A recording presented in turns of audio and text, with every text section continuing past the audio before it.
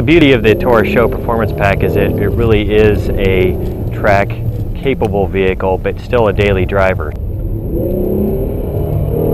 You could take your kids to school, drop them off at school, and then head to the track and have a little fun and come back at the end of the day and pick them up and nobody would even know.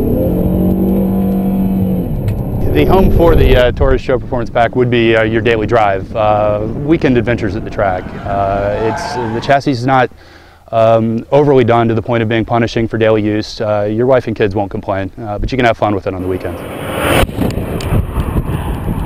The powertrain is phenomenal. It's a uh, turbocharged 3.5 liter, 365 horsepower. This thing gets up and scoots.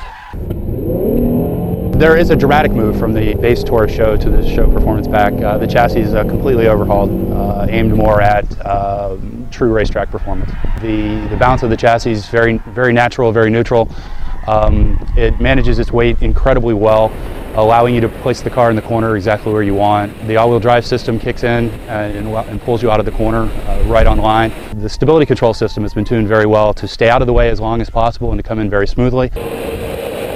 The cooling system has been increased uh, upwards of, I believe, uh, 25, 30 percent uh, uh, for heat rejection so that you can run at a track uh, pretty much all day and not have the system, the car overheat and leave you stranded.